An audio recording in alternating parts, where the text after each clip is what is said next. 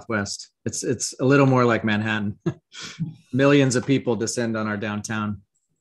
Well, it's also the first time after pandemic, right? Because it didn't happen last year. Yeah. West. It's, it's a little more like Manhattan. Millions of people. Yeah. Uh, Kory, I think um, we're ready. We're streaming. Everything's going. Thank you, Courtney. and uh, thanks to everyone for joining us. I'll turn it over to uh, Professor Bieg. Great. Thank you, Clay. Uh, hi, I'm Kory Bieg. I'm a program director for architecture here at the University of Texas at Austin. And it's my great pleasure and honor to introduce Jing Liu. We are fortunate to have Jing uh, not only open our lecture series this year, but also for her to join us on our faculty as a visiting professor and the Ruth Carter Stevenson Regents Chair in the Art of Architecture this spring. I know students are, are super excited. I'm personally excited. I can't wait to see what you produce. And I know we're all looking forward to having you around in the school.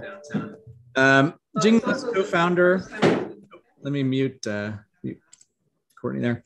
Um, Jing is co-founder and principal with Florian Idenburg of the office So founded in 2008. So is a practice that hit the ground running with their competition-winning entry pole dance for the MoMA PS1 Young Architects program. As I'm sure you're all aware, PS1 program is one of the rare competitions that offers in architectural practice the opportunity to build research.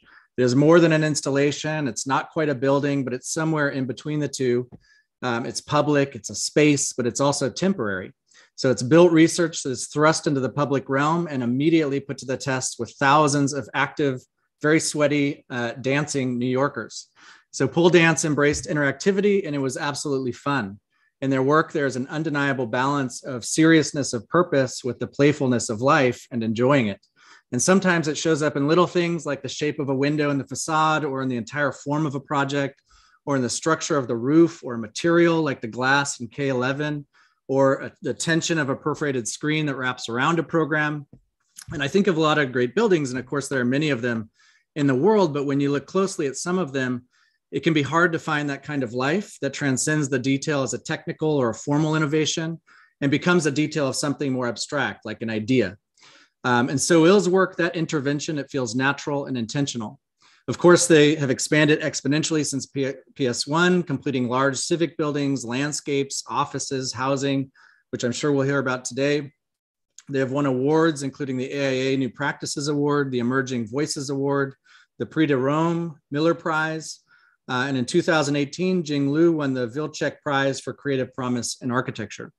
Their work has been published widely in everything from A plus U to Domus and uh, the book of their own work, Solid Objectives, Order Edge Aura, which features the first eight years of their office's work. And of course, that's just a small sampling of their achievement and recognition. But there's just one last thing I want to say before I uh, welcome you, Jing, and that is that we are at a moment in the world and in architecture where we are facing a reckoning and people are demanding change. Some firms have risen to that challenge in a meaningful way, including SO-IL. Uh, and just as one example, they're one of the only companies I have seen, including outside of architecture, um, that publishes a diversity, equity, and inclusion report directly on their website. It includes the makeup of the office, including minority, race, and ethnicity, LGBTQ, uh, and gender representation, and furthermore includes a statement on environmental stewardship indicating goals for their office's impact on the world. Uh, I think by adding this kind of transparency, it makes a clear statement that if you're looking to hire SO-IL, uh, these conditions are at the core of that relationship. And you know that then as a client, you are going to have to be equally engaged in these issues up front. I think it's really critical and important because it positions architecture as not just a service industry for a client, but a service to a greater community. And it's built on the understanding that when a client puts a building into the world, um, it's just not for them, it's for others. So the evidence of this is in each of their projects, and it's no surprise to me that their project, uh, Amant, uh, Amant Art Campus in Brooklyn, uh, just a few weeks ago, hot off the presses, uh, was awarded the Best of Design Project of the Year by Architects Newspaper. Um, so without further ado, please join me in giving a warm virtual welcome to Jing Liu.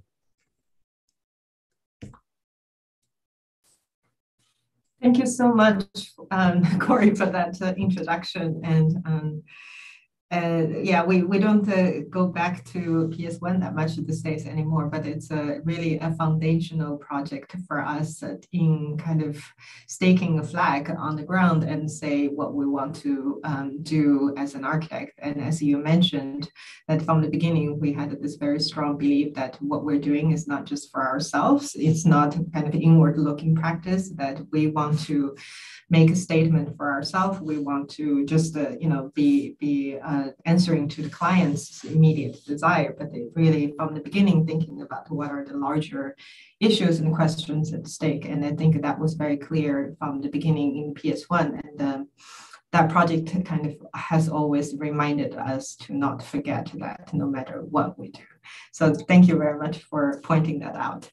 Um, but I do think that today I'm going to um, go back to some of the early uh, moments and because we started in 2008 and equally that was the formative um, years in the practice of architecture. I think the profession lost one third of the workforce in 2008. Many companies uh, folded during that time and we opened our door at that moment really to think about how do we carry on the project that's still very much needed to continue. Um, but then now we're in 2020, uh, well, 22, but 2020 2020 has also been a very important year for us to, for many of us, you know, all of us to, to rethink about um, what what we do as architects and what, what can we do um, as architects to change the status quo and the trajectory of humanity as a whole. So I think it, it feels in the last two years very productive to, to go back and reflect um, in those early moments. So I will start with with 2008 in, in today's talk. Um, I'm going to share my screen and assume that all 180 people can see it. If not, let me know.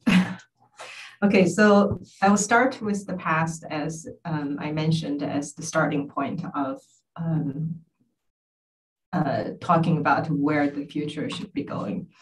And this started this kind of uh, uh, looking back and looking forward as a constant um, feedback loop in our uh, working uh, process that has been there from the beginning. And thanks to actually Mohammed Sharif, who is an architecture educator, practitioner, and um, curator, who um, invited us to, to do a retrospective in the first year of us opening our practice. And we thought in the beginning that was a joke, but uh, when we started to talk with him about the idea uh, why he wanted us to do a retrospective, it became very clear that that was exactly um, the intention that you know if we're going to start uh, uh, forward thinking but also um, responsible practice that thinks about the bigger societal questions as a whole we should really place ourselves 10 years from now and look back at um, the moment from the beginning and the positioning ourselves um, in that way. And so that we're really placing our goals um, in the long term and not just the immediate the immediate um, kind of survival of a practice, so to say. And one of our early projects um, also very much uh, informed our um, thinking in, in, that sense that we, we were asked by Ivan Chermayeff, this very, very iconic um, modernist designer, to design his uh, weekend home uh, in the early um, 2008. And uh, this project uh, unfortunately did not get realized, but we had a really uh, productive conversation with uh, Ivan throughout the whole process. Ivan's father was um, Sergei Chermayeff, who was um, uh, immigrant um, from Chechnya, um, a Jewish immigrant, and went to London and was very influential in the early modernist movement there. And then Ivan um, was responsible for many of the Chermayeff Geismar's his company uh, was responsible for um, many of the modernist logo uh, graphic design um, in, in America. And so um, I, this house was really the last kind of dream of his life. And Uh, and he came out of a very strong modernist uh, tradition with everything, you know, had to be kind of straight and uh, in a grid. And, you know, in the graphic design, this kind of underlying rules is very important. One anecdote was that during Thanksgiving, he called us and said, um, as you will see later in our project, that we like to break the grid. We like to really soften the grid. We like to make it playful from the beginning at the pole dance. We already were trying to make the Cartesian grid very elastic. So in this project, we also introduced a um, softer moment. And then during the Thanksgiving, he called, called us and said, please just get rid of those goddamn curves. And so that was a very um, close, intimate kind of collaboration with, with Ivan. Unfortunately, this project did not get built, um, but we made a short documentary really uh, reflecting on the, the, idea of the modern project and um, where it should go from the, there. Because Ivan lost the money at the um, in 2008, and that was the reason the project was not um, this kind of last dream of his life was not realized. Um, so it was a very um, interesting conversation to think about, you know, what do we um, inherit from our ancestors and our predecessors, and how can we, what is our role in evolving that project um, forward? And so kind of fast forward to 2020, as I uh, mentioned before, that it's a really reckoning moment for, for many of us, the, the entire world. And we know that there are many, um, in this contemporary world, there are many voices, there are many kind of um, timelines of histories and narratives that are always intersecting with each other. And sometimes it can become very labyrinthian and very complex and that it feels stifling to, to be operating within that. Um, but I think that for us, um, we, we believe, I think Mary Shelley said it once, that innovation does not come out of nothing. It comes out of precisely chaos. So we very much believe that um, this is another moment of very um, very uh, productive kind of um, creative force. And it is in this complexity that we have to operate in. We cannot be reductive and we have to understand um, this, this complexity and, and move forward with a better intelligence as architects. And this plan um, is uh, some of these drawings and the model shots are some of the early studies of our UC Davis project that we completed, I believe, in 2016 in California. And you can see some similarities of um, the kind of softening of the Cartesian grid and the complexity that we're trying to imbue in, in our project from the planimetric to the three-dimensional to the material uh, throughout it. But I think um, in, in this plans, it's a very legible in the sense that you know, we believe that the human beings and people that when we experience the architecture, uh, we experience with body, we experience with senses, and that's how we think um, in space. Um, that's how we encounter other people. That's how we encounter objects in space. And those knowledges have to um, be be absorbed um, through this sensorial and the bodily in a kinesthetic way. And uh, um, we have to make the rooms relate to the other rooms in, in a way that's surprising, that's serendipitous, that's joyful, and it should not be repetitive, and it cannot just be uh, um, that that's that's the language of the machine the the straight lines that just continue um, forever. That's the language of the machine. That's not the language of the biology and we have to um, and that's not also the language of culture. Um, so we believe that um, architecture has to um, you know try to uh, imbue that complexity within the space of itself.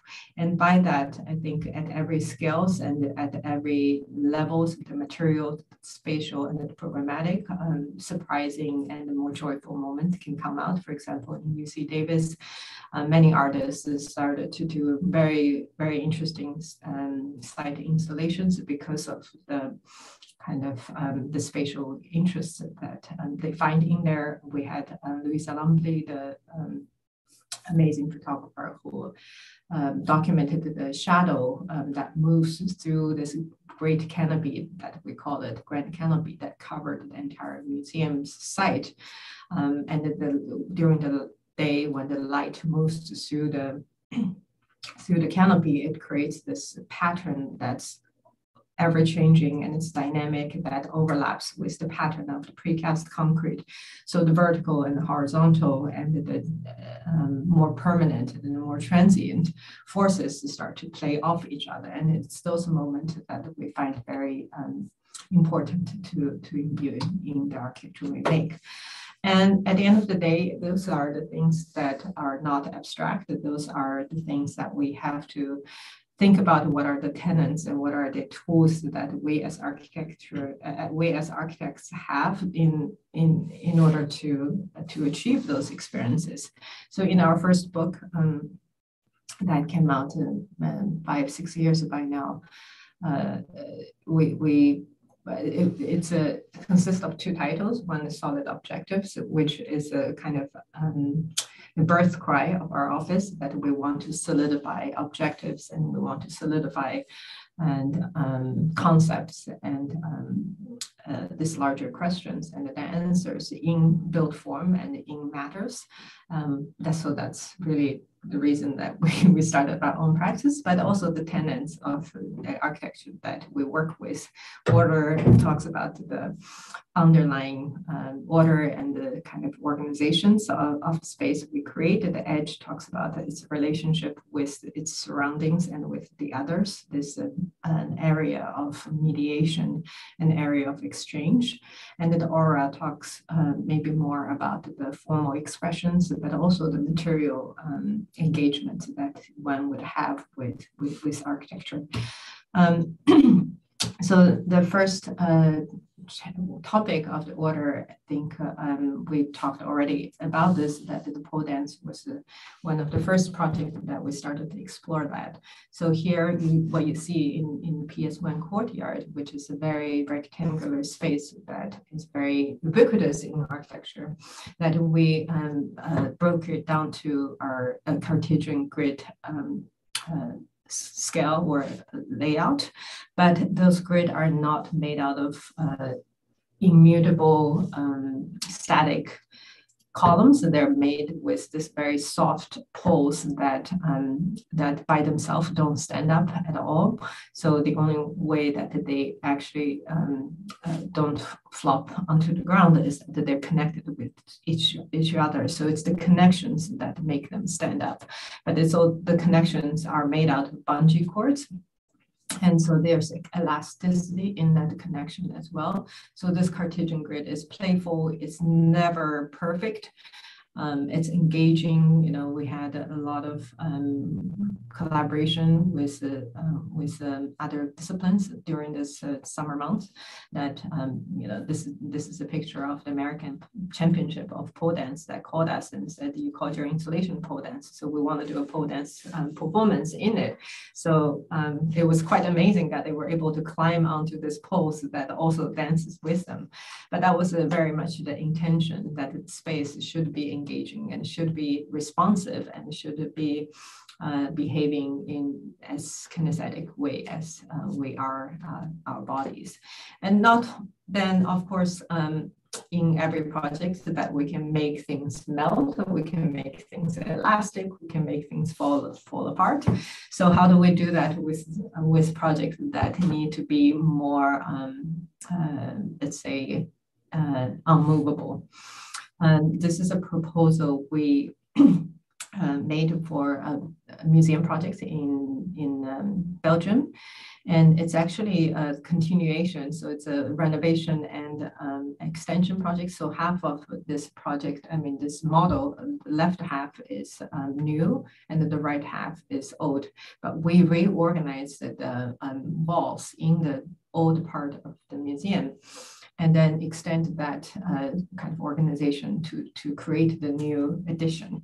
But as you can see, maybe in the in the way light is um, shining through the model, that the uh, openings in this grid is not repetitive, like it's not unfilled, it's all corner openings. And by doing so, your your trajectory of moving through the museum can be almost like Rubik's cubes. There's infinite amount, number of ways that you can um, encounter the objects and the, the, artwork and the programs in the museum. We don't differentiate in uh, differentiate the back of house or the front of house or the uh, storage versus you know, public spaces. They are all part of this kind of fluid and uh, um, system of space that you're always uh, working diagonally and every moment and when you're at the cross you're presented with multiple choices and you might come back to the same place that um, from another angle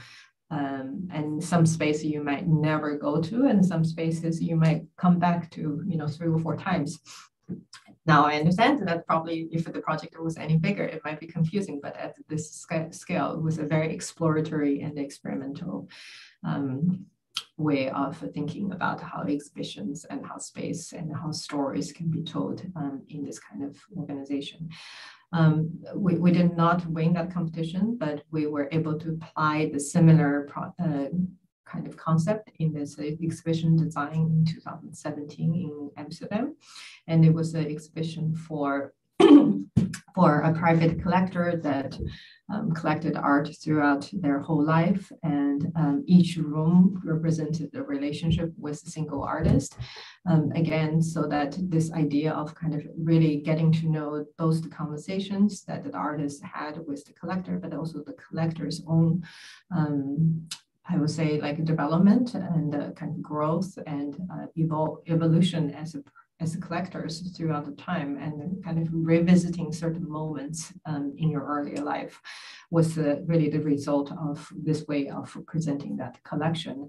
And throughout also the entire um, I think it was five months of the um, exhibition. The, some rooms will be changed once in a while so that you're never encountering the show in the same way as how our memories work as well, that we are remembering things um, every time slightly different. And that's because our experience of the present reframes the way we're looking at our past and the way we're projecting forward as well.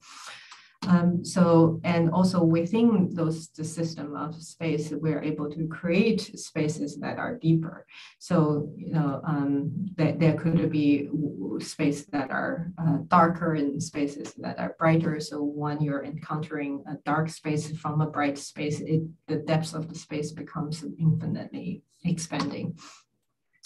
And then um, similarly, we, we um, also expand that thinking to the programmatic. This is a proposal for another um, culture project in, in um, uh, Holland that we uh, juxtaposed project uh, programs that are dark space, so more kind of performance and the um, multimedia programs with uh, programs that are uh, more kind of uh, open to more kind of white box and showing uh, two-dimensional and three-dimensional artwork, and then mixing that in the middle so that the middle space really becomes this place that's somewhere ambiguous. It's it's not part of the multimedia program and it's not part of the um, uh, exhibition program. So this is actually two organizations that are coming together, um, and and that we were really trying to think about what are the ways that they can operate independently, but also influence each other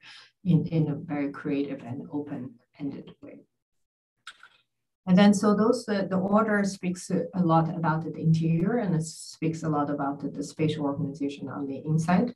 Um, but if the order and the organization um, it extends out and radiates out and it inevitably will come to an edge. And that edge can be a section or just a cut of, of the grid of the plan of um, the internal kind of demand, the internal motivation, but it, should also be remain flexible at the edge because there are there are other forces and there are other cultures and there are other uh, uh, lives that are out um, in the context that um, any kind of internal demand needs to also negotiate and project outwards and have a dialogue and conversation with. So that edge becomes also one of the most interesting um, places for us to explore as, a, as an architect. And sometimes that edge can be very thick that allows you to kind of look across at the poché space, or sometimes that is, is a very um, large where it, it, almost becomes its own space that, for example, in, in the Japanese um, uh, uh, traditional or uh, architecture that you have the space of the ma, which is literally the unit of the space, and then you have often this uh, um, garden that is not really nature. It's a more of a representation of an utopian or reflective moment the inner world, uh, the inside of, of the human imagination. And it's that space of the ma and the space of the imagination and the possibilities and the connection to something larger than ourselves, that in between space become a place that um, you can look outwards into that inward looking space, but also looking back at um, the everyday and the more orderly um, space. And that mm, Engawa, it's called, is really the space of the edge becomes um, an architectural feature in itself.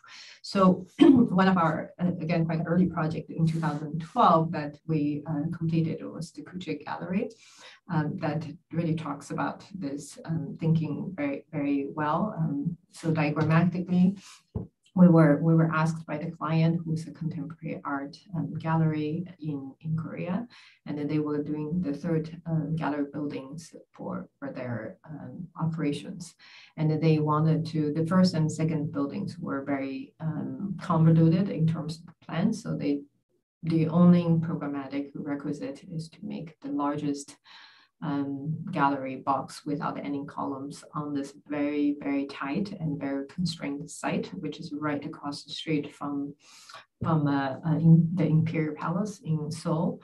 Um, so there's a lot of uh, hundreds of years old um, hanoks that have this courtyard um, typologies, and they're all made out of um, clays and wood and elevated. So that the context is very sensitive and very historical. And we thought that the diagram of this very big contemporary art scaled um, box was too um, overbearing for, for that sensitive um, context. So what we did it was to actually to push all the accessibility programs outside of that box so that they they start to kind of have that movement outside of this very abstract space and then we enveloped the whole thing with this cloak um, let's say that clothes um, something that's kind of elastic and that's more fabric like and so but you know korea like many asian countries we get a um, we get a lot of uh, very big um, typhoons. So all the exterior um, building cladding would have to really clear and really stringent uh, wind load um, requirement. So we uh, were wondering from the beginning how we're going to make this close for, for a building at this scale. Um, so we went to um, we went to maybe maybe we'll skip that and then I will explain that story a bit more um, because this relates to the third topic that um, I mentioned, it's the aura. And the aura, um, uh, you know, it's it, we debated quite a long time in the office. It's almost like a year and a half. That what what should we call this? Is this about the representation, or is it about beauty, or is it about um, um is it about presence? You know, like what is it that we're trying to say?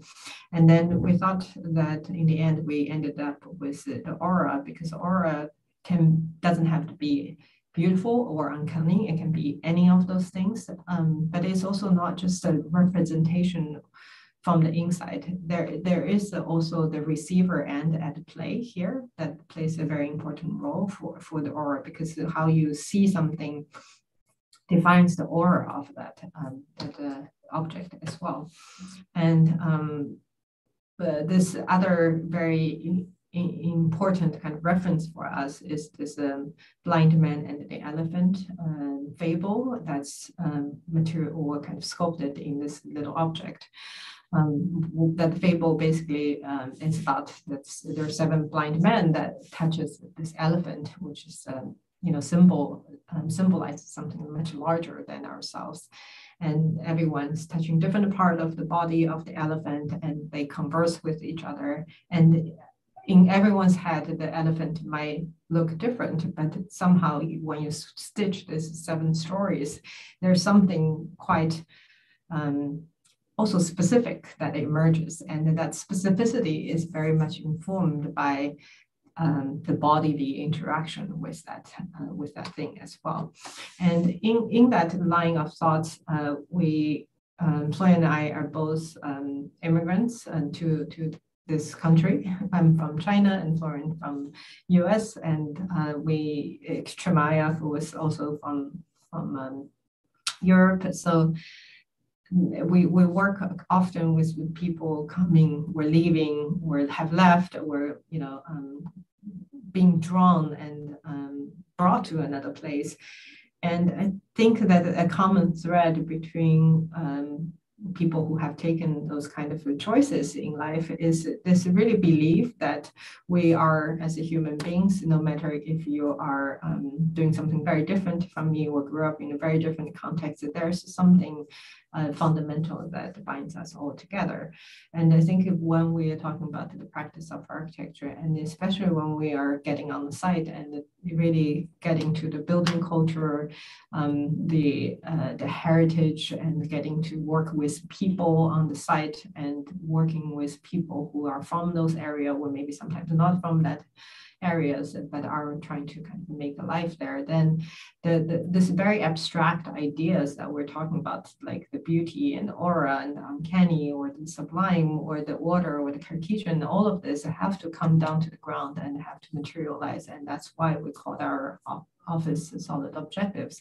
And you know, someone that we find uh, quite a um, strong affinity with is uh, Lina Bo Bardi, for example, moving from from Italy to um, to Brazil, and then um, uh, at the cusp of thinking about what that country's modern um, um, modern uh, period or modern era would look like architecturally, and the thinking we're collaborating a lot both in the arts and in the societies.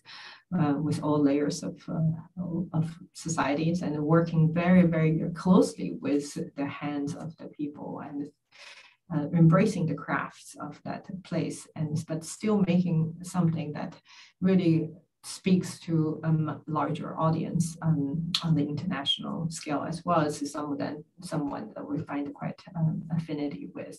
So going back to the Kukje Gallery's uh, cloth, the, the um, clothes, so to say, our inspiration came out of uh, really a trip to the Met um, Museum where um, with our kids that we saw this armor and they thought this is the answer that you have this very robust uh, material that is not soft and it can withstand the building um, tension um, that's required here, but um, because of the way they're connected to each other. So again, it's the connection and the interaction of between the unit and between the atom that's at play here that allows it to be elastic and allows it to take on all kinds of um, characteristics of the body. So um, we thought, okay, this is the answer rather than kind of uh, digitally you know, figuring out what this shape is and then um, in the computer, making it into panels and uh, making it faceted, um, uh, uh, you know, pixels. That this is the this is the material that actually the behavior that we're looking for. So we translated that in the computer and understood the kind of how the chain chain link would work.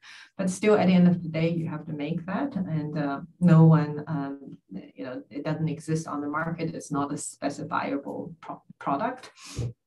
Um, in at, at the architecture scale, yes, at the kind of um, there are a lot of uh, pole dance um, or belly dance costumes that are made that are machine made, but they're much smaller um, and they're also butt jointed. So there's no way that it can withstand the tension that we're looking for. So we went to really this uh, kind of mother uh, land of uh, all things wire mesh in the middle of China, uh, where this city has 2,000 uh, workshops that only do uh, stainless steel, aluminum, all kinds of alloys um, welding, and for both the oil, oil refinery uh, industries at one, one scale, but the, um, in, the, in another extreme, on the other extreme, like kitchen utensils and things like that. So we worked with the workshops, a um, few of them, and got them all together to, to devise this process of hand welding uh, 500,000 rings together and they did mock-ups in um, the local uh, the backyard of local public schools and um, eventually um, with them together we were able to make this uh, clothes for for this building that really softened it and it made it more um, reactive and sensitive to this very um, historical context.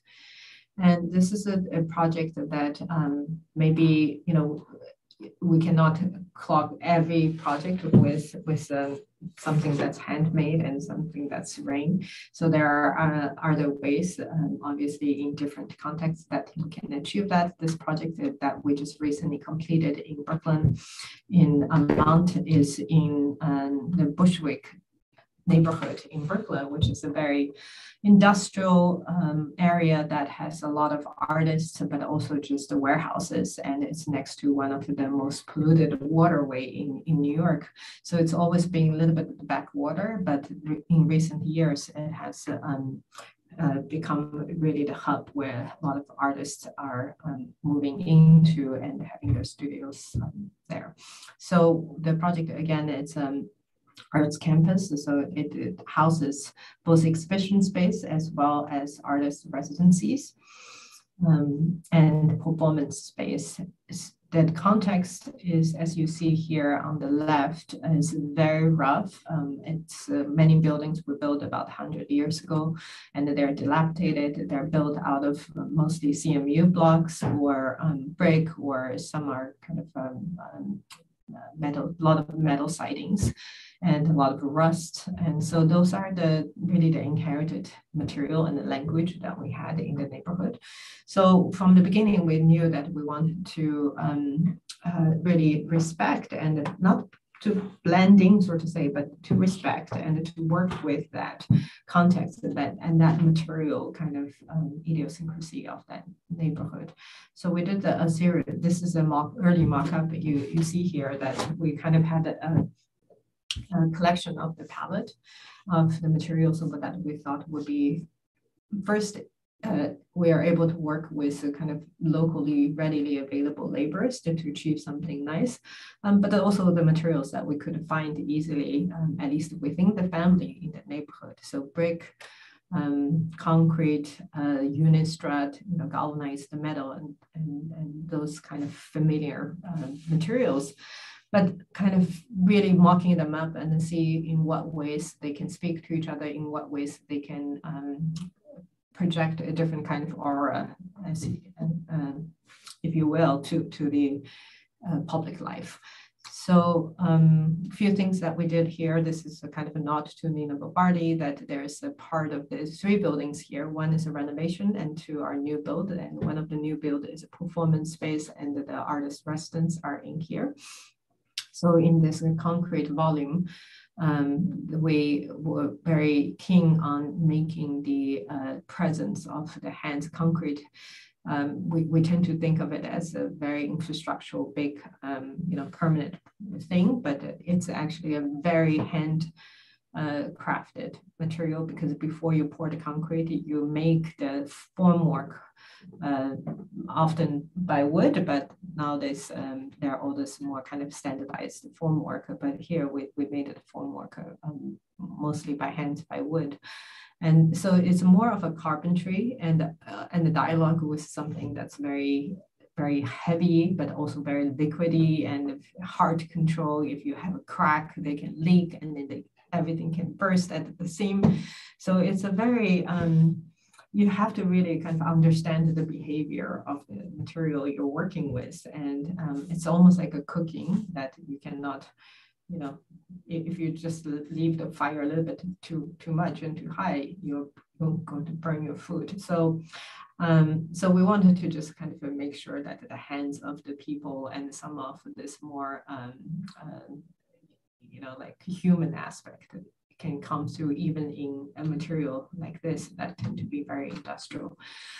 And then also, um, this is a, just a, a, quite common gypsum um, brick, and we uh, used the brick in, in a different way. Um, the course is uh, kind of 45 degree rotated that allows the brick to actually wrap around the corner without any seams. So the, the corner brick is just one of the, the rotations and then it makes the entire building much softer. So it gives the depth in the building in this way, but also, um, you know, the, the, the edge is not a 90 degree like this sharp line anymore. And then so every in every one of the three buildings, we have two materials or two textures of the same material in the concrete sense.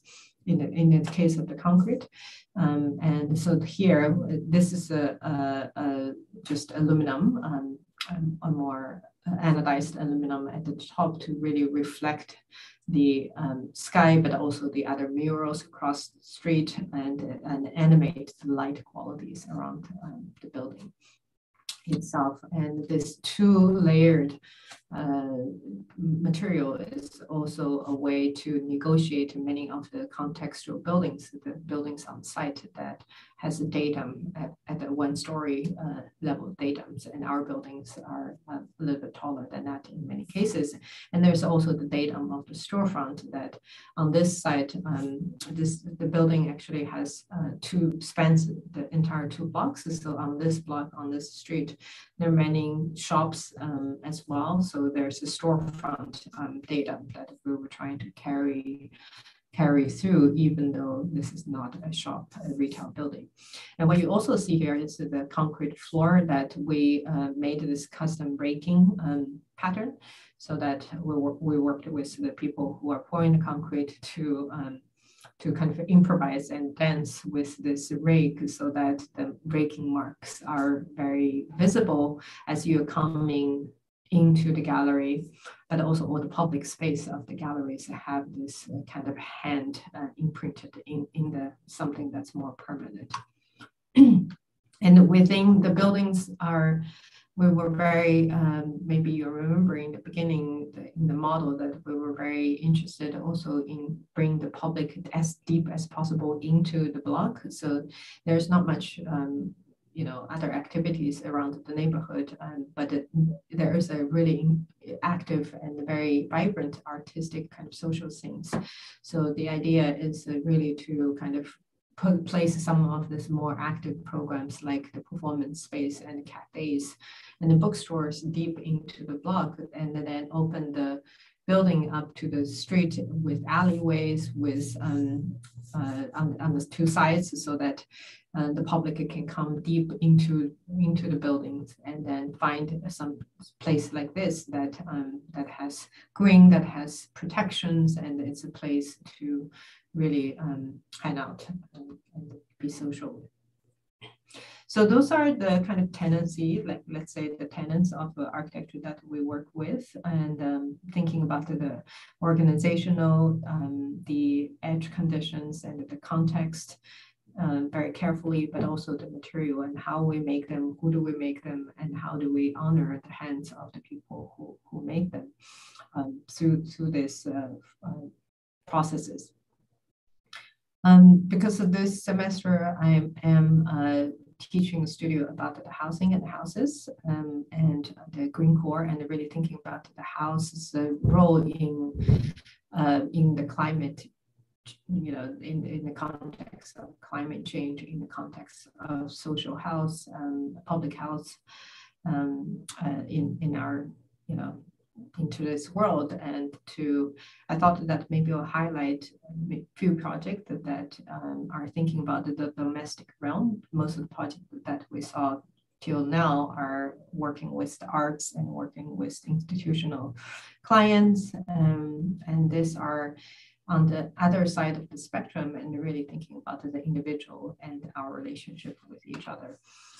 Um, so from the beginning, we uh, have been interested in the topic of the house and the housing. Um, both Florian and I grew up in collective house housing, um, you know, with, with other people's and um, a very strong kind of uh, um, idea that the house um, is really uh, not a private property, but it's a, it's a place that you you negotiate, connect, and um, uh, exercise uh, what kind of relationship that we want to have with ourselves and with with the others. So we've done um, we've tried to do houses or housing from the beginning, but not very successfully for many reasons. And it's only recently that we started to build um, domestic programs. Um, but we have been experimenting from the beginning, and I would like to share with you some of those experimentations in the first, and then how that translates to some of the current projects that we are um, able to implement. Um, but before that, uh, maybe just to kind of reflect a little bit of how we're thinking, how uh, we're reading the history of homes and housing houses uh, from the primitive hut, so to say, that we are, uh, that, that is not that much I would say like distance from the caves or the bird's nest, so to say, like there's this innate desire for and a necessity for uh, all creatures to find places of safety and places where we can protect ourselves and find comfort and um, and to uh, take care of our families and our offsprings.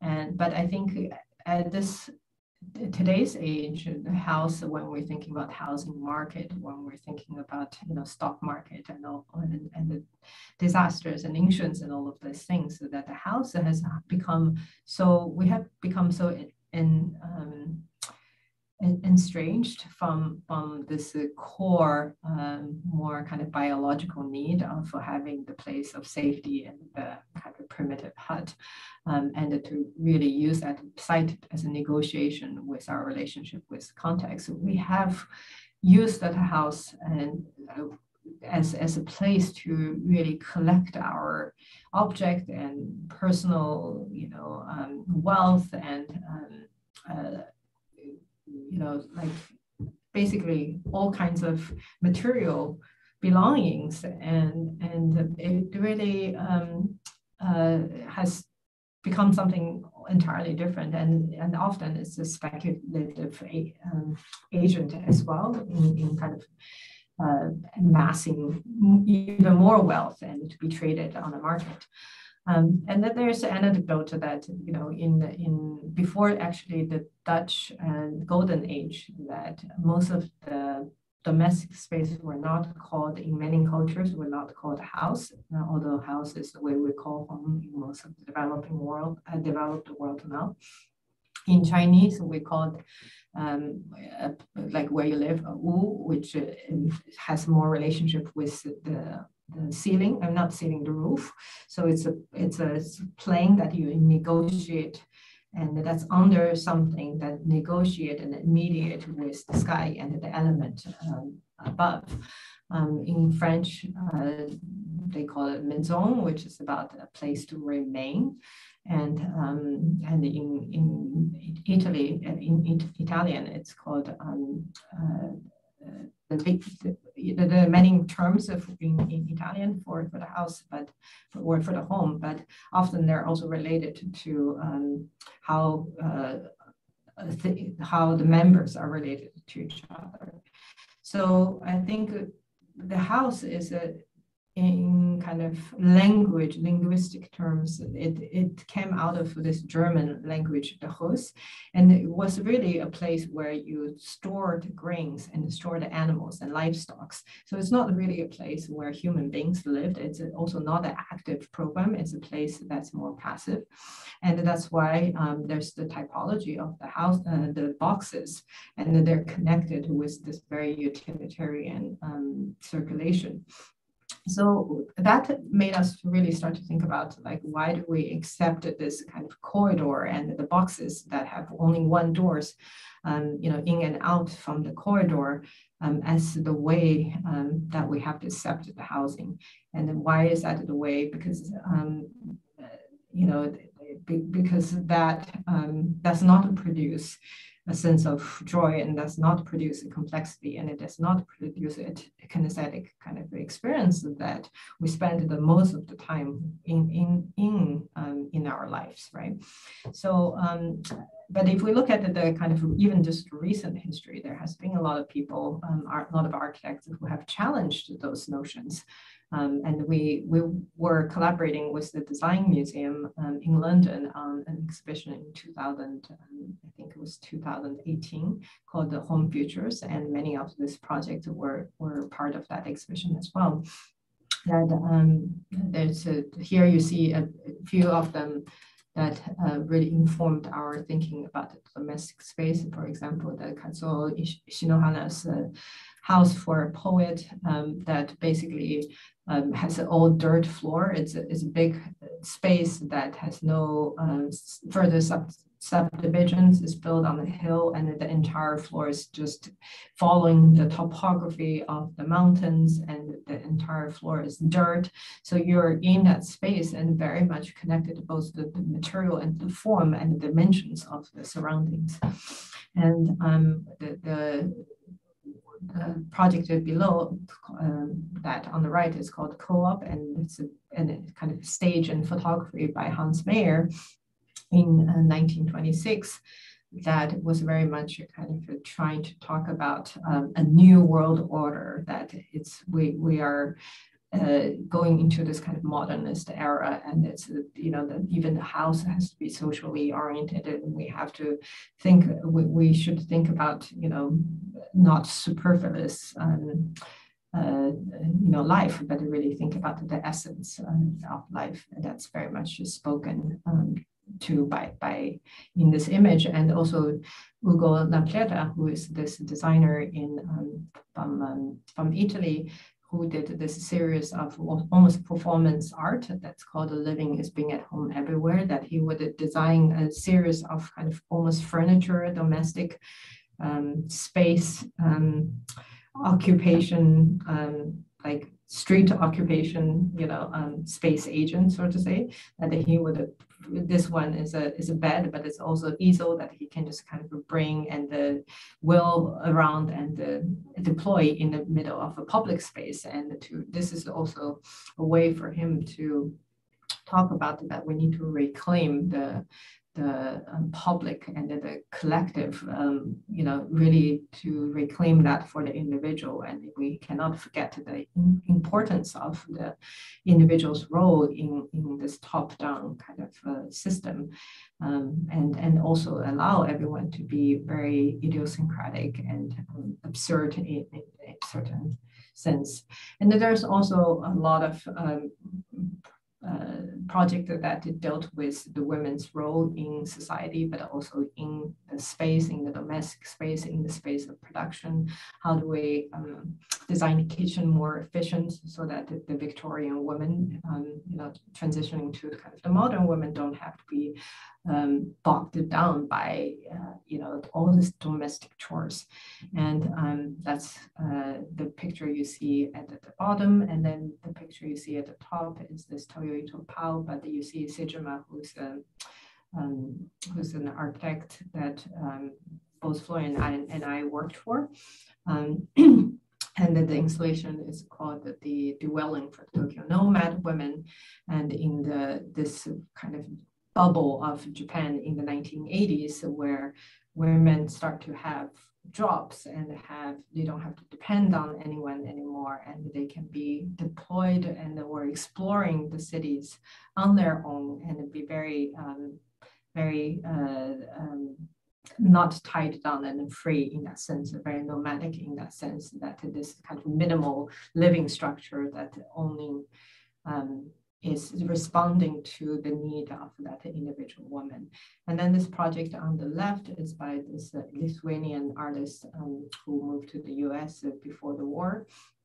and she uh, made basically her uh, townhouse, this very boxy and rectangular um, townhouse in, in Manhattan, um, into this very soft and very sensual environment through um, fabric. And um, the story goes that the one day that she woke up in the middle of the night and just thought, look at the ceiling and thought that why am I living in a space that are, you know, uh, with the 90 degree angles and everything is so constrained and it doesn't feel right. And I don't want to see the right angles. I don't want to be living in the box. So she started to kind of cut um, fabrics and start to um, uh, work with this more kind of tensile forces of the fabric to create space that are very um, elastic and very um, sensuous and very um, um, translucent in that sense. So one of the, the, first project in which we started to think about, um, and in a smaller scale to think about at the fundamental um, level, if we're thinking about the, this kind of primitive hut and this kind of um, the first layer of space that we envelop ourselves from the other environment, you know, the, the, uh, the environment and the outside. Um, is a, is this kind of a minimal veil and the kind of embryo, so to say. And um, in 2020 that we all know that the mask is also an architecture and we started to wear this like um, uh, really big kind of apparatus around our head that we can even call that the architecture architecture and it's these layers that kind of negotiate um, between the me and the um, the others, right, and the, the environment around. So this project it's definitely not 2020 it's a 20 it's like three four years before the pandemic that we we did an installation in the collaboration with the artist Ana Prvački at the Chicago Biennial, very much talked about um, that relationship. If the air and the environment is de degrading and the air quality is getting worse in our kind of rapidly urbanizing and extractive environment, then do we have to all be uh, enclosed within our own bubbles? And how can that bubble, um, you know, be uh, breathable and to be filtering, but still project, you know, our personalities out and still project a certain kind of humanness and, and empathy outwards. So we looked at, um, uh, we were collaborating also with a, a, a group of uh, musicians that had uh, all wind instruments. So they would be the, the whole piece is a performance piece that each of the musicians will be in this costume that's made out of air filtering uh, uh, fabric and they would um, be playing the music with the wind instrument, which moves a lot and it's really big.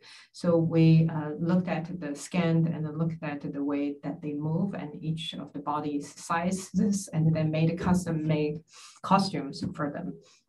So each of these shapes is really kind of coming out of the characteristics and the instrument they play. And so in Chicago Biennial, um, there's this uh, series of events and performances that these uh, musicians were performing, performing in them. and then um, later we uh, carrying the, the, same thought and kind of worked on the bigger scale installations at the uh, Milano um, Salone in Italy. And it's a, basically a kind of minimal footprint domestic kind of structure that also uses this time not just air filtering, you know, air conditioning filtering cloths, but is slightly more advanced and more technical and experimental um, material that's developed by this Japanese company that basically collects the pollution and the filtering them um, from the air. And then when the rain comes, it would just washes off. So it becomes also a cleansing machine. Um, the, the house becomes a cleansing machine itself. And um, inside there's no furniture, so we're just rethinking the floor so that the floor becomes a, a space place that you can live and you can read and you can relax. Um, this is highly um, experimental and highly, uh, it's not even a prototype. I think the, the way uh, this project is really trying to tackle is uh, this similar thing um, that we were trying to tackle in the Chicago project that what is uh, you know our relationship with with the context that we're going into and how do we um, materially express um, our exchange with the environment and you know can our that exchange not to be just um, shutting everything out nor is it just about um, uh, you know uh, pumping pollutions out but maybe that exchange is something more equitable and is more productive in the long run.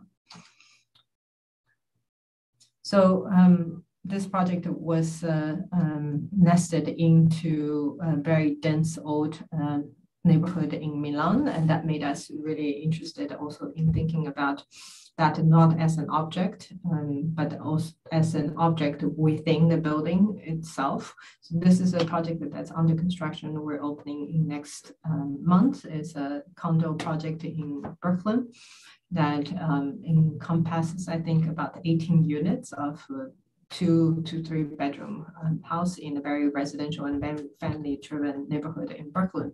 So um, the zoning, but also the, the fabric of the neighborhood necessitate a quite um, closed building and the, the, the volume really lines to the edge of the sidewalk. But then within the building itself, um, we were very adamant, um, this is our first residential building in New York or in America, because we from the beginning have been always saying to any you know client that wanted to hire us that we want to change the way the housing plans are done in in at least in New York City and in many other places as well, that we don't want to do a double the corridor, which is the most efficient um, in terms of kind of um, usable or sellable square footage versus the non-sellable square footage. But that really makes the corridor a dreadful space and that makes basically every unit to have only one direction towards the outside. So we said that, you know, we always wanted to do something that has the public circulation that's on the uh, exterior, so it's it's a um, it's covered, but it's not enclosed, and that allows also a building like this to have three every unit to have three exposures. So you would be able to look into the atrium and space, which is also the public circulation space, but also three, uh, you know, other directions. So while you're inside the house, you're very much connected with the outside and you see the sunlight um, coming from one side of the unit and leaving to on the other side of your house. And you, you're not static and enclosed in that kind of box-like space. So that's what you see here in the, in the visual. I think we're missing the the side photo. It's almost completed. So this project um, strikes a much, not much, a slightly lower ratio of what is sellable versus uh, what is built. Um, but it has become like one of the um, uh, exemplary project in New York and even New York Times had it in their kind of uh, real estate section as the exemplary project for post-pandemic housing that we have the right to have access to fresh air, to have the right to have public space within our private and domestic space, to be humane and to be connected with our neighbors and to have a space to, to have a conversation at the end of the day. Um, and to also looking into each other's window and you know not be afraid of that that um, you get to know other people's life and in uh, Mexico, we had a similar um, typology implemented or built a few years ago um, with a, a, very different set of um, much larger um, um, tasks at hand. So this is a project is called um, Las Americas, and we worked with with uh, the city of Leon to implement a series, uh, a prototypical housing project that will reverse what you see on the screen here, which is the urban sprawl um, that uh, uh is the result of um, very cheaply and like um, unthought of rollout of uh, assisted housing, uh, not assisted housing, affordable housing um, in, in Mexico in the last 20 years uh, because of the industrialization in the country and especially in Leon, which is a very industrialized city, that the population has grown like 10 times and all this population had to be accommodated and somewhere. So from the kind of government level, in Infonavit is a kind of a Fannie Mae of the of uh, Mexico that they just roll out this uh, this uh, loan and the developers just take them and make this cookie cutter very you know simply built houses um, outside of the city and they go on and on and on sometimes it takes three hours to get into the city to, to where you work from those places and it's completely unsustainable it uh, converts the uh, natural land or agricultural land to, to housing um, and in this very low dense way. So it's not very efficiently used. Um, and there's no social infrastructure nor um, you know just basic infrastructures like trash pickups or public transportations or hospitals or um, uh, schools um, so that is something that um, has become a very, even this, every layers of the society realize that this is problematic.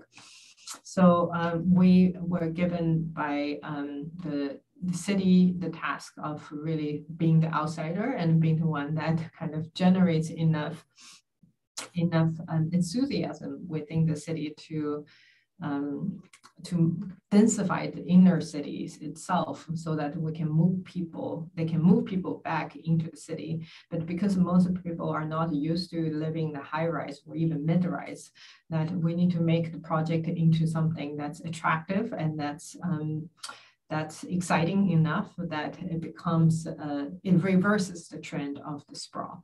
So we did a series of workshops with uh, politicians and, um, you know, bureau, like kind of housing bureaus there.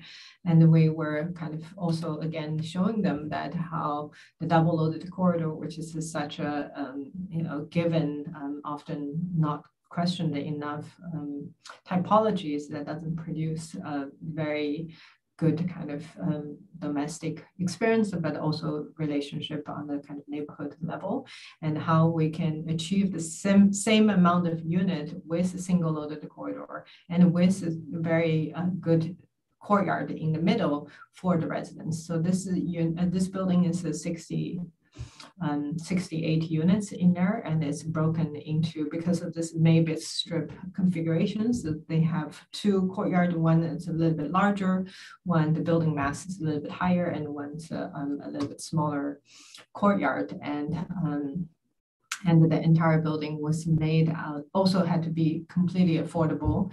And it's for people who make less than $7000 a year that can apply for this uh, housing programs um, and so the entire building had to be made under $2 million. Um, but we didn't want to sacrifice really the, the, uh, the building still need to look exciting and um, with dignity and integrity and it should be a place that you want to actually move um, back to the city and, and be here. So in the beginning, we thought that we'll make this very playful precast panels that can have uh, different orientations along the facade and catches light in a different way um, so that it animates this building that um, is, is something that the city has never seen, such a large scale um, housing building.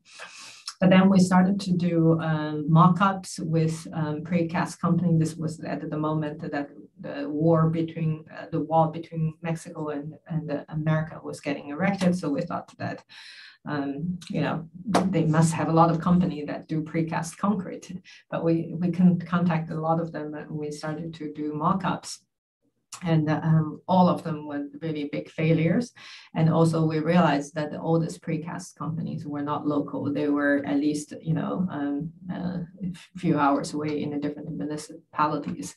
So in the end, we came up with this um, solution, which is to make uh, local uh, CMU blocks, um, a very custom shaped CMU blocks that has five faces. And because they have uh, different um, faces and you can rotate them so that when they are put together, they create the same kind of very animated and playful um, exterior um, expressions and catches light in a, in a more animated way. And each of this block is designed to uh, be carried by one person. So we didn't have to hire an outside um, outside company and you know to precast all of this and then bring it in and then just hand it with with non-local labor because you need a crane to hand precast panels. So a CMU block kind of construction method was allowing us also to hire local um, local laborers um, in this project. So here you see an example of how it's deployed and to create window frames at different angles as well. Um, this is a kind of close-up of how, how that break um, works out. And this is a, a, a, neighborhood that has already a very vibrant uh, street life. There's a market there. So to, to kind of drop something in this very vibrant and very lively neighborhood, we really wanted to be quite sensitive to, to its role as this backdrop and not to um, not to overwhelm it or kill it, that kind of life, and to and further animating it and and uh, and um, um, kind of amplify its energy. Um, so that's the building um, from different uh, elevations and the different entries and um, also at night this was before the moving so it's a bit dark but as you can imagine that when people moving these windows would admit light from inside to the outside in a very also playful way as well. And in, in the kind of aerial view you can start to see that how this building's scale is very different from the rest of the city. And it's really the only residential buildings that takes on this this scale so sorry, I have to move this out of the way so you can see it. Um, and and it, it, was very important that we took care of the material expressions um, and aura of, of the building. That's the end of my talk.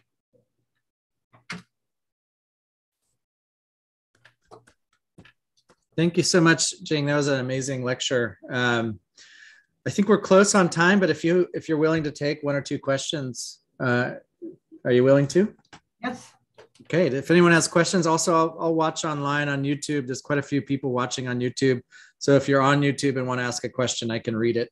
Um, otherwise, go ahead and raise your hand and ask it here.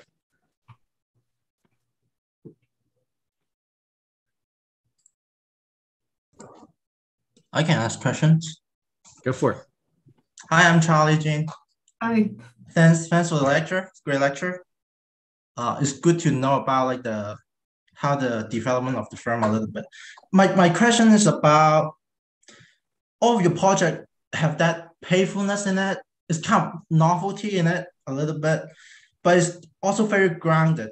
So it's my question is like when me and our students in school when we develop a project in the beginning, we have all this crazy idea and we try to all fit together into a project coherently, and we don't know how they work.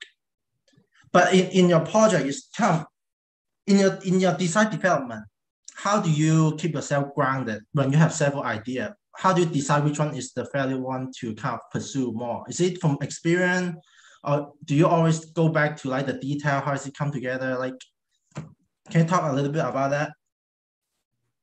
Mm, I mean, we we work a lot with hands from the beginning. So at the urban scale, at the formal scale, we already start to make a, a lot of massing models. And maybe um, you can see that, you know, like the, the Kujim, for example, it didn't come out of uh, you know the first try right? Like there there are a lot of models that's made about pushing different volumes out of the box or you know in, in the uc davis i would say that we made many many models where the line can go in many different ways. And so i think from the beginning this idea of kind of learning as you're doing it is very important. Um, it's not like it only till the end that we do the mock-up and think about the materials.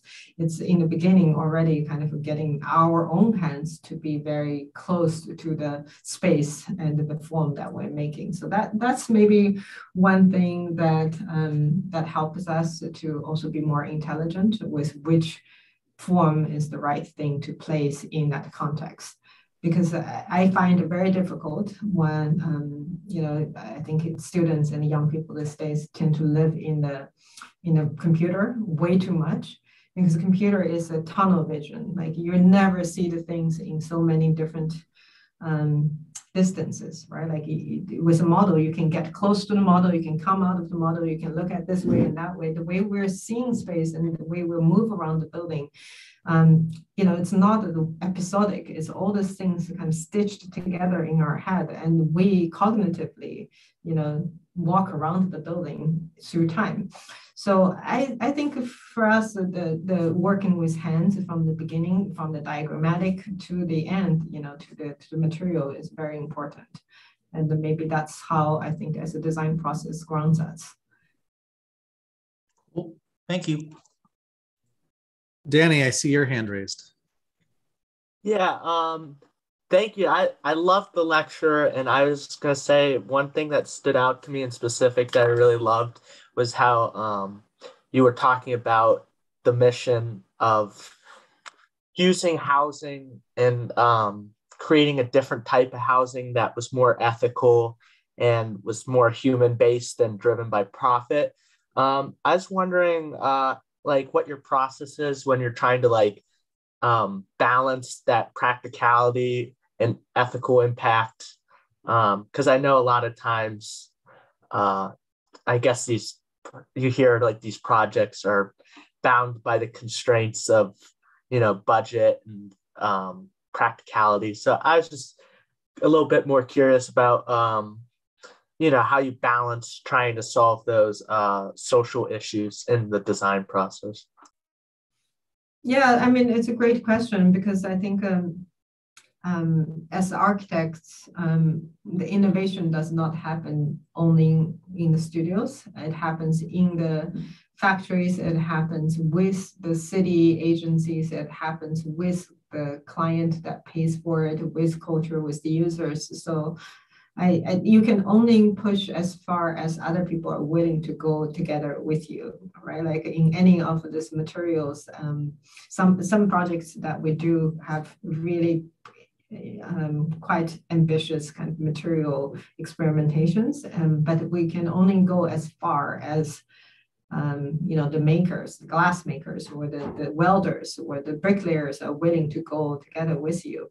So I think that um, to recognize that and be humble about it, and to also kind of collaborate, you know, and every aspect of the building is what building process, the design process is something that we uh, we collaborate with a lot with many people a lot. We collaborate with mathematicians sometimes to think about how we can think about material efficiencies and spatial efficiencies so that we can tell the clients that look, um, you know, yes, this is the matrix that you might uh, that might not be conventional and that might be a little bit different. And this is the other ways that you can actually um, make a bigger gains and, and, a different in a different aspect or in different um, ways.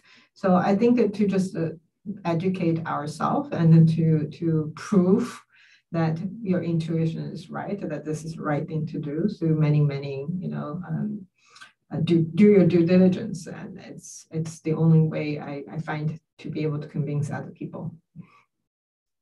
Thank you. Uh, Corinne. Oh, thank you so much for an amazing lecture. And uh, it was really wonderful to see, you know, all the different projects that you've uh, you've explored in these these uh, this past decade. Um, I, in, I just have a simple question regarding your latest project, the housing project in Mexico. Um, I don't know. I know it's fairly recent, but it, were you able to, given especially so how drastically different it is from everything in its context in terms of density and uh, in terms of how it, how people experience it? Have you had the opportunity to get any idea of like sort of post occupancy experience of what people have responded to it, whether it's people who use the building or around? Yeah, I mean, we post like the post occupancy survey in the sense that we understand it is is not something that we have done but we have been at the opening of the building we have seen the moving of the first group of um, of uh, tenants and users and who were very enthusiastic. We have seen that as the building was going up, we were nervous that they would moved the market somewhere else because those are organic, you know, uh, forces that you cannot predict. But uh, you know, they only got more busy the market because they know that there are more people who are going to be here, right? So that was very very good, and um, I think in terms of uh, post occupancy, I, one thing I also want to mention is that I didn't get too much into it. So this project is funded not by Infonavit, but it's by um, IMUVI, which is uh, this is municipality level uh, lender. So one one thing that we were very it was very important for us to succeed in this is to also collaborate with the city and at that level to tackle um, housing crisis issues.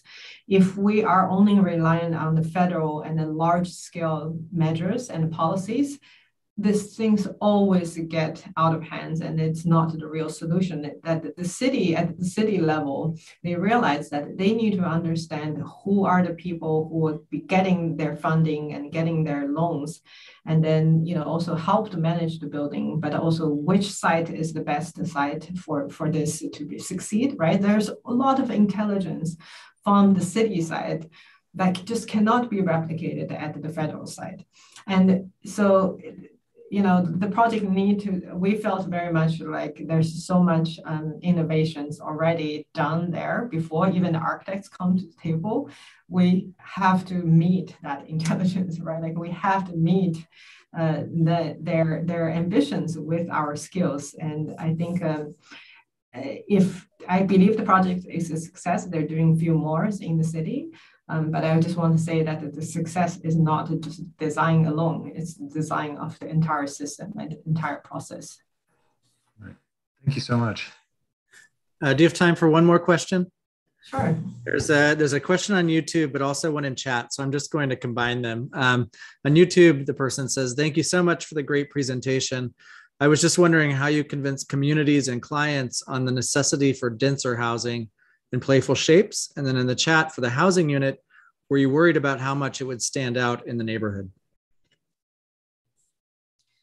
Um, I believe density, you know, is, um, I, I, would speak to Florian, for Florian as well. I believe density is one of the necessary um, uh, solution to at least the contemporary, you know, um, environmental and housing crisis and issues uh, in, in America or South America, in, for that matter, or in Mexico, Central America. Um, and, and the density that people get nervous of is nothing compared to the density that we grew up in, in Asia.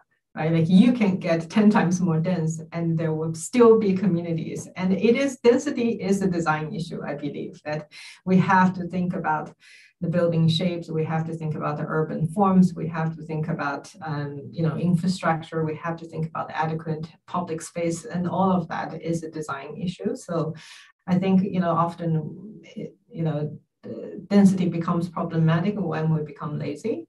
So I think that in in Leon, it was very much our desire that you know if we can contribute to people feeling that you know density is okay, and if the design can solve this nervousness towards density in that context, then you know we have to push the needle slightly.